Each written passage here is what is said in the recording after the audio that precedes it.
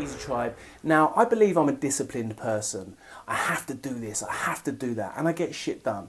But you know what? I don't even think I'm happy from it. I've had some great achievements, but I'm just not sure I'm ever going to get to that place, that place that I'm chasing. Now, I've been reading up on Krishnamurti this week, and he believes that discipline isn't what we need. It's actually ongoing learning, and that learning isn't just about acquiring knowledge. It's um, a movement of knowing that has no beginning and no end.